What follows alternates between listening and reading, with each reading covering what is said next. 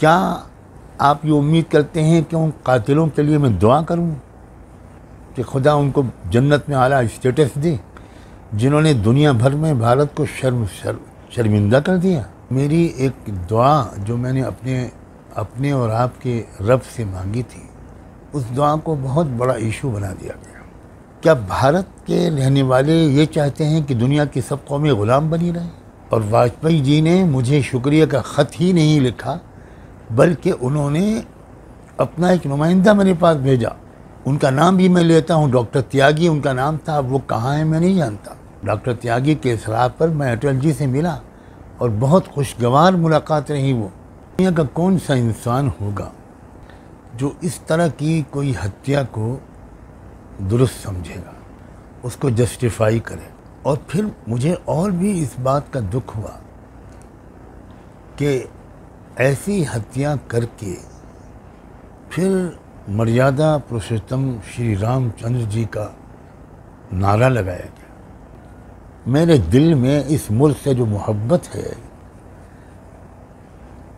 मैं इसमें किस किस का सर्टिफिकेट मांगूं? किस किस से कहूँ कि ज़रा मुझे आप एक सनद दे दीजिए कि मैं इस मुल्क से मोहब्बत करता हूँ? मैं किस बाप का बेटा हूँ? मैं किन भाइयों का भाई हूँ? क्या हमारे ख़ानदान की हिस्ट्री है? मेरी तरबियत हज़रत मौलाना अबुल हसन अली नदवी और हज़रत मौलाना मोहम्मद मंजूर नोमानी जैसे अजीम रहनुमाओं ने की थी।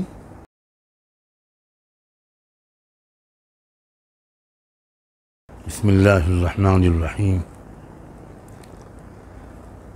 मैं सज्जाद नोमानी इस वक्त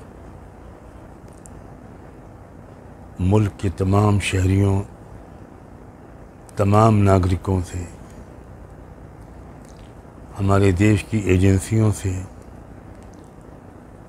मीडिया के भाइयों और बहनों से एक बहुत ज़रूरी बात कहने के लिए आया हूँ। शायद आपको महसूस हो कि मेरी आवाज़ कमज़ोर है। मैं कई दिन से काफ़ी बीमार चल रहा हूँ।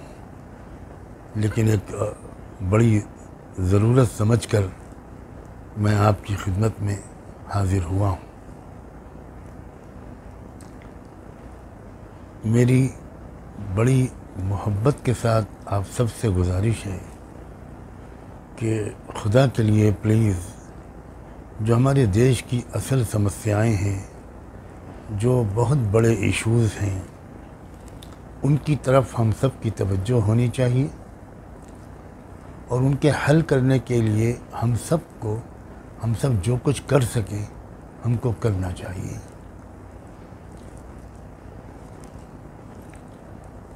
अभी हाल ही में मेरी एक दुआ जो मैंने अपने अपने और आपके रब से मांगी थी,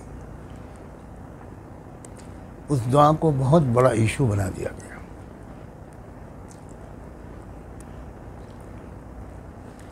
मुझे वाकई इसका दुख भी है और हैरत भी है। दुनिया का कौन सा इंसान होगा जो इस तरह की कोई हत्या को दुरुस्त समझेगा, उसको जस्टिफाई करेगा? और फिर मुझे और भी इस बात का दुख हुआ कि ऐसी हत्या करके फिर मर्यादा पुरुषोत्तम श्री रामचंद्र जी का नारा लगाया गया। कहाँ श्री रामचंद्र जी?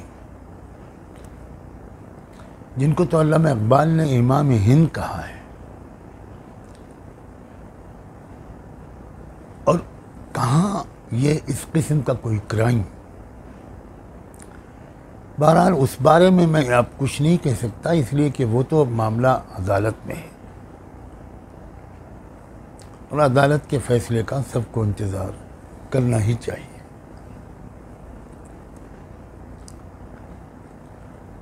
मुझे इस वक्त तो सिर्फ़ ये कहना है कि उस इशू को उठाकर, यानी देश की तवज्जो को मोड़ा जा रहा है।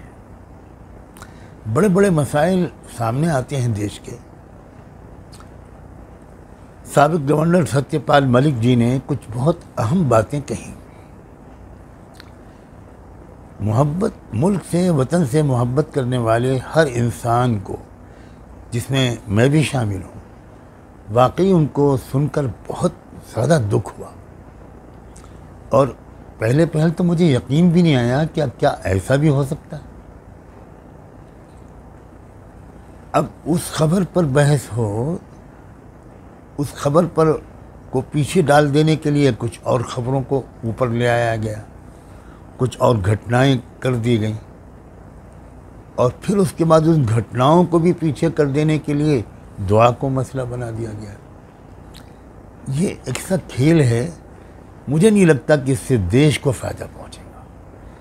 इससे यकीनी तौर पर मुल्क को नुकसान ही पहुँचता है। अब लोग अजीब अजीब किस्म की चीज़ें उठा रहे हैं। याद दिला रहे हैं कि सज्जाद नवानी वही शख्स है, जिसने अफ़गानिस्तान की जंग आज़ादी की कामयाबी पर मुबारकबाद दी थी। मैं फिर कहता हूँ कि बहुत कुछ जानने के बावजूद मुझे अपने कानों पर यकीन नहीं आता ये बातें सुनकर। क्या भारत के रहने वाले ये चाहते हैं कि दुनिया की सब कौमें ग़ुलाम बनी रहें? अगर दुनिया की किसी भी कौम ने साम्राज्य ताकतों से लड़ाई लड़ी, कुर्बानियाँ दी और आज़ादी हासिल की तो उनको मुबारकबाद देने का सबसे ज़्यादा अधिकार भारत के नागरिकों को है। इसलिए कि मैं इस इतिहास से वाकिफ़ हूँ मैंने अपने घर में उस इतिहास को पढ़ा है। आप तो नहीं जानते कि मेरे वालिद कौन थे? आज़ादी की तहरीक के रहनुमाओं से उनका क्या रबता था? मैंने अपने घर में जयप्रकाश नारायण को आकर मशवरे लेते हुए देखा। विनोबा भावे जी को के पास जाते हुए अपने वालिद साहब को देखा।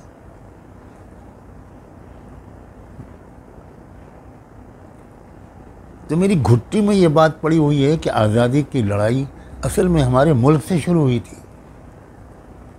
उसके बाद में सारी दुनिया के ग़ुलाम देशों को आज़ादी मिली थी। तो भारत का एक लीडिंग रोल है। तो दुनिया में कहीं भी अगर आज़ादी मिलेगी तो भारत के नागरिकों को उस आज़ादी पर खुश होने का सबसे ज़्यादा हक है। लोग इसको आज याद दिला रहे हैं ट्विस्ट करके। लेकिन वो क्यों नहीं ये याद दिलाते कि जब भारत पहली बार न्यूक्लियर ताकत बना था और एक कामयाब तजुर्बा श्री अटल बिहारी वाजपेयी की क़्यादत में न्यूक्लियर ताकत का भारत में हुआ था तो सज्जाद नोमानी ने एक लेटर लिखकर अटल बिहारी वाजपेयी जी को इसकी मुबारकबाद दी थी। और वो उस वक्त के अखबार में छप, छपी थी वो ख़बर। और वाजपेयी जी ने मुझे शुक्रिया का ख़त ही नहीं लिखा, बल्कि उन्होंने अपना एक नुमाइंदा मेरे पास भेजा। उनका नाम भी मैं लेता हूँ, डॉक्टर त्यागी उनका नाम था, अब वो कहाँ है मैं नहीं जानता।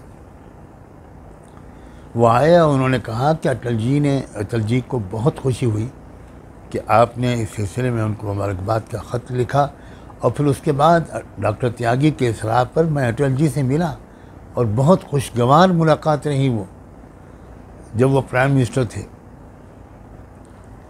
इसको लोग भूल जाते हैं कि मैंने ये भी किया था, एक गलत रुख पर ले जाना, डिस्टॉर्ट करना मिस गाइड करना मिस इन्फॉर्म करना। और आजकल के जर्नलिस्टों की आदत है कि वो कोई हिस्ट्री पढ़ते तो है नहीं मैं सबको तो नहीं कहता, लेकिन कुछ की तो शायद ऐसी आदत है। मैं आपसे हाथ जोड़ के दरख्वास्त करता हूँ कि इस वक्त मुल्क हमारा एक कठिन दौर से गुजर रहा है। बहुत कठिन दौर से गुजर रहा है।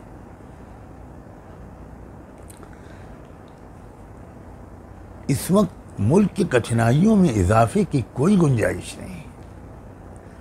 और नॉन इश्यूज़ की तरफ़ तवज्जो को मोड़ देना ये मुल्क के क्या दोस्ती नहीं बल्कि जाने या अनजाने में दुश्मनी है।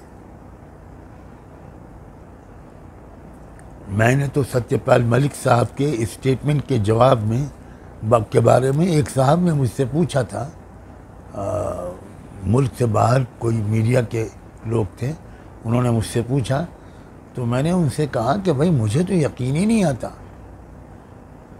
मैं तो समझता हूँ ये किसी ऑफिसर की गलती होगी। कोई डिफेंस मिनिस्ट्री की ये गलती हो, ये बात मानने के लिए मेरा ज़मीर तैयार नहीं है।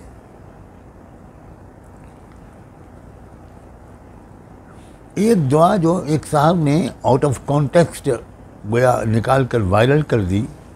उस दुआ को पता नहीं किस रुख पर ले जाया गया। क्या आप ये उम्मीद करते हैं कि उन कातिलों के लिए मैं दुआ करूँ? कि खुदा उनको जन्नत में आला स्टेटस दे। जिन्होंने दुनिया भर में भारत को शर्म शर्म, शर्मिंदा कर दिया।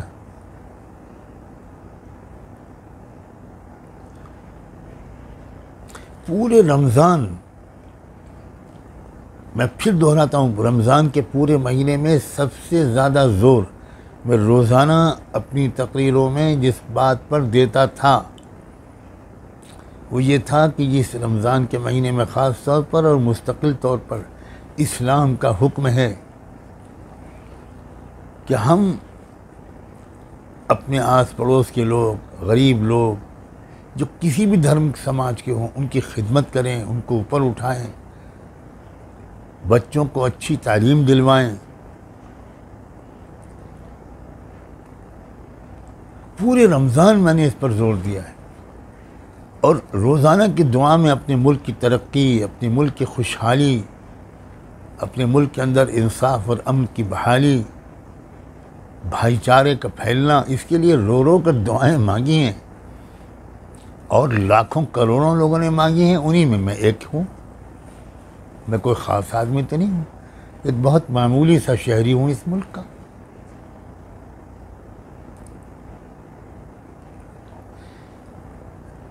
लेकिन उन दुआओं को तो किसी ने नहीं सुना। मेरे दिल में इस मुल्क से जो मोहब्बत है, मैं इसमें किस किस का सर्टिफिकेट मांगूं?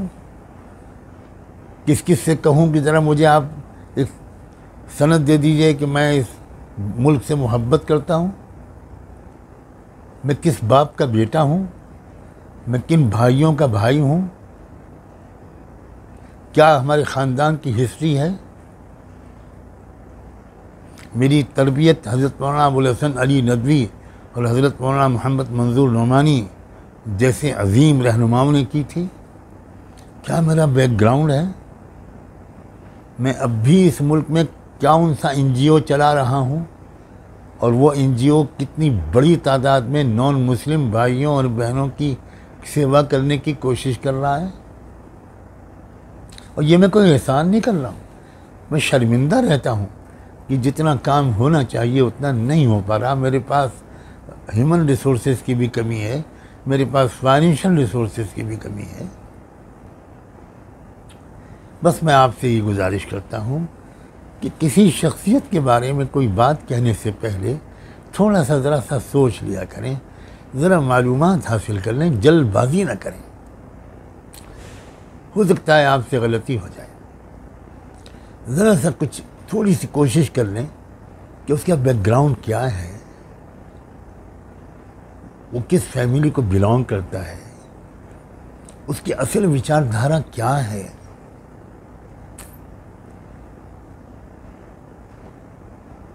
काश कि मुझे खुद सामने आकर ये बात ना कहनी पड़ती है मगर मुझे अपने मुल्क के ज़मीर से इस मुल्क की मेजोरिटी से ओवरवेलमिंग मेजोरिटी से बहुत अच्छी उम्मीद है।